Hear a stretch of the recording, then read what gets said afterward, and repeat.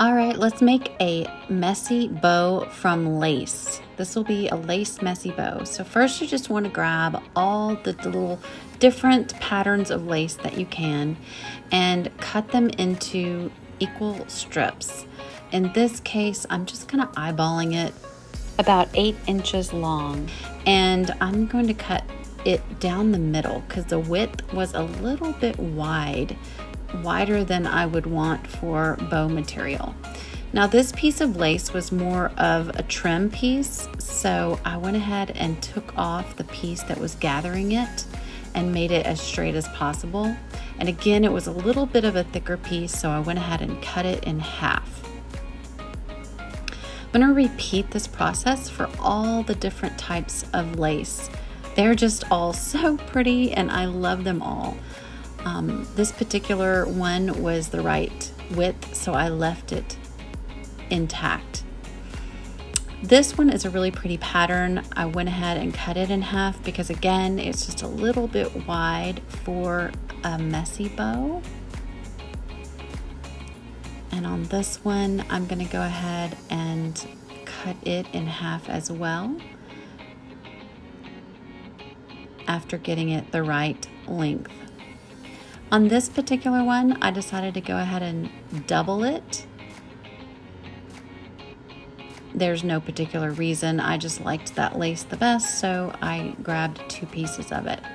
Now you're going to take all of your um, pieces of material. I went ahead and added this piece of eyelet to give it a little more of something to make it stronger than just the lace because lace is so light.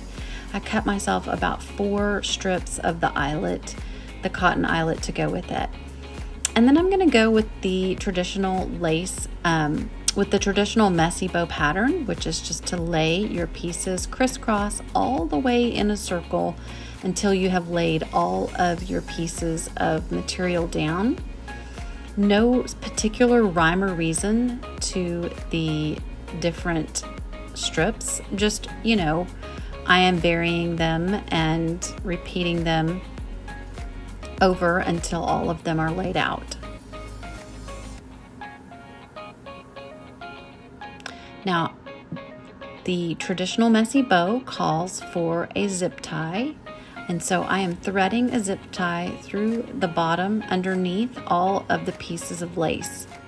Once I have it together, I can pull it a little bit tight flip it over, make sure I've got it where I want it, and tighten my zip tie.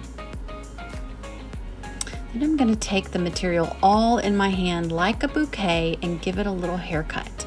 I'm going to trim all of the excess of the lace off. You are able to get creative with this. You can make the bow as small as you'd like or as large as you'd like. You can leave the edges rough if you want, or you can do like I did and just give it a little haircut. Once you trim it down, you're going to want to shake it off and get all of the mess. That is the signature part of a messy bow is to shake off all of the extra little pieces.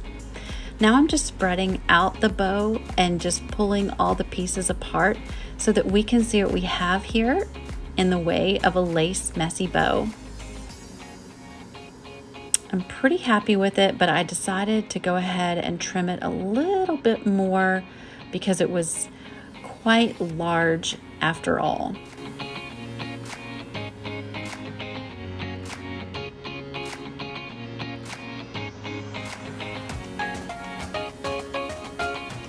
Again, I am wiping away the mess and I'm gonna find the center of this lace messy bow and apply this really pretty rhinestone daisy in the middle.